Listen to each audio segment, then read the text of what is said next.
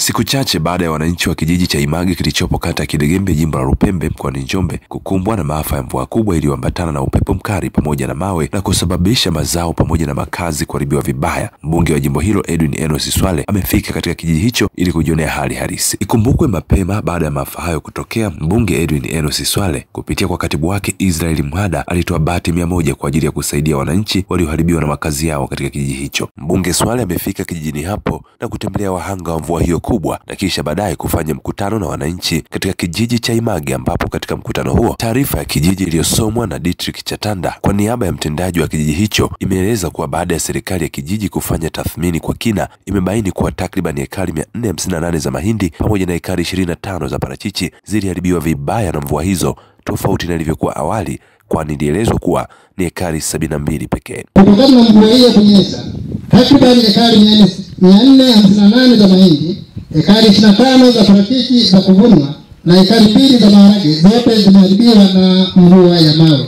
Licha ya mashamba kuharibiwa, pia kuna makazi ya watu yaliharibiwa vibaya mno na mvua hiyo kubwa, ikiwemo bati mia tatu kumi na nne kuharibiwa na nyumba kumi na tano kubomoka.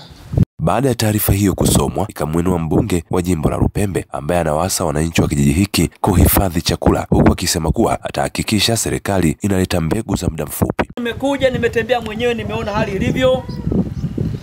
Mahindi yameumia sana, migomba imeumia sana, maparachichi.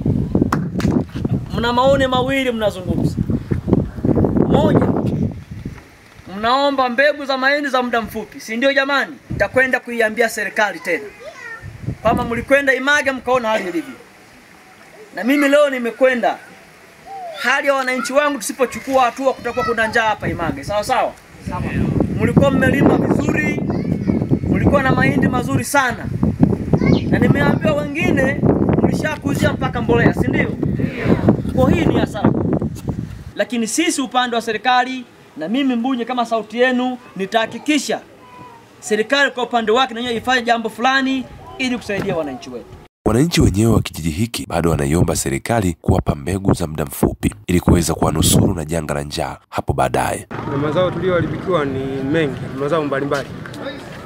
Kuna parachichi, kuna mahindi, pia kutobolewa bati, ikiwemo na kubomolewa nyumba.